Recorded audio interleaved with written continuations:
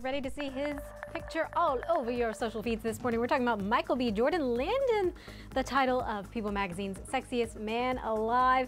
He even gets his own emoji. That hashtag is all over our Twitter feeds. Let us know what you think of this year's pick. I'll leave it for the for the gents to swoon. Why don't you just leave the picture up? You don't even have to have us. You know, you guys are right on time. Always hating when this when we have the story every year. I'm not hating. Nobody's hating on Creed. Hating. It's all good. God bless him. Hey, All right. you And get you lucky as every now and then. Okay, all right. We ladies, we always enjoy this time of year.